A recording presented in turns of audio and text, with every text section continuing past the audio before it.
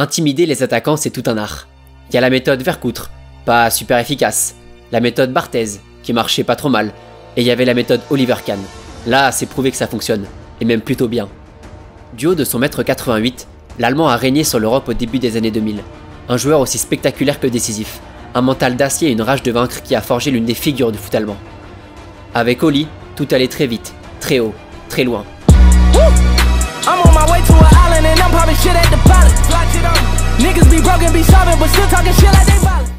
Titulaire un soir de novembre 87 avec l'équipe de Karlsruhe, après la suspension du gardien principal, le jeune Oliver Kahn est lancé dans le grand bain, du haut de ses 18 ans. Après en avoir pris 4 à Cologne, puis 2 contre Brême, il passe 3 saisons à jouer par intermittence, voire même avec l'équipe réserve du club. En novembre 90, Kahn rentre à la mi-temps du match contre Borum, remplaçant le gardien Alexander Faluma. Oliver Kahn est tout simplement impérial, et gagne pour de bon sa place de titulaire. Charismatique au possible, rassurant pour sa défense et doté de réflexes monstrueux, il réalise de superbes saisons avec l'équipe allemande, avec laquelle il atteindra la demi-finale de Coupe UEFA en 94 et se verra rappelé par le sélectionneur allemand pour un match amical en 93.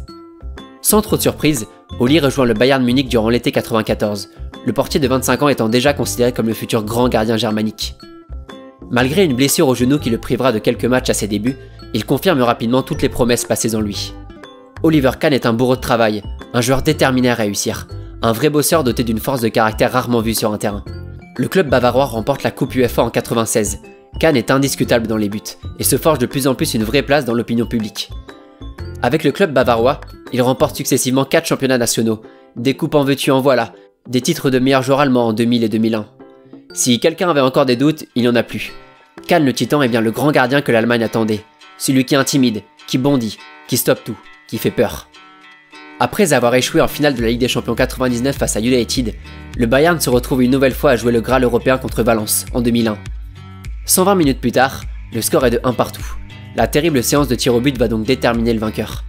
Héroïque, Oliver Kahn sort 3 des 6 pénalties espagnols et permet au Bayern de remporter un trophée auquel il court depuis plus de 20 ans.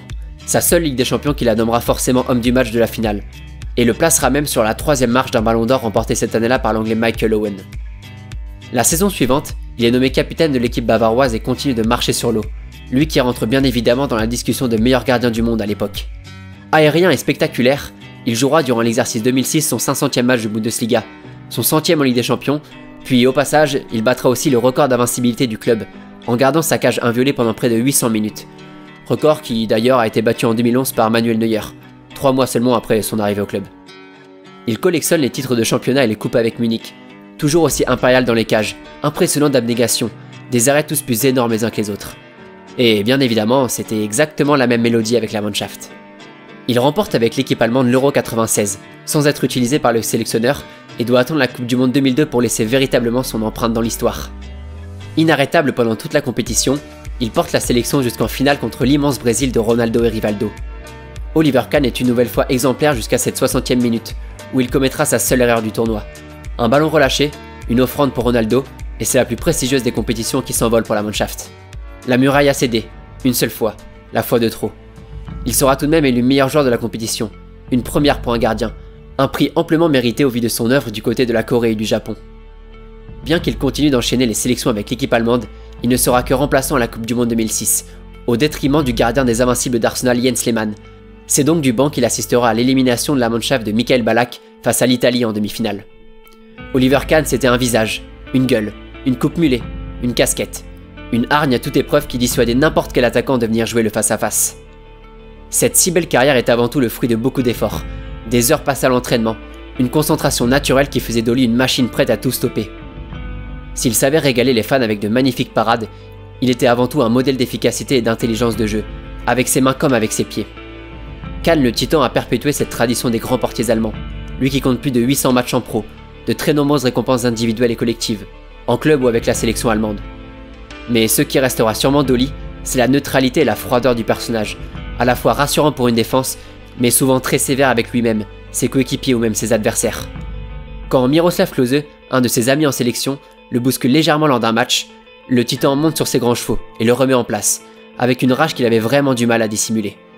Tous ces traits de caractère auront fortement contribué à la notoriété nationale et mondiale du joueur, où l'ensemble de ses exploits lui ont permis d'acquérir une reconnaissance infinie de la part des supporters bavarois. En bref, des arrêts sublimes, un charisme inoubliable et beaucoup de passion, Oliver était gardien et jouait parfaitement son rôle. Le 17 mai 2008, les gants étaient raccrochés, le tapis rouge bien rangé. C'était la fin du festival. Le festival de Cannes.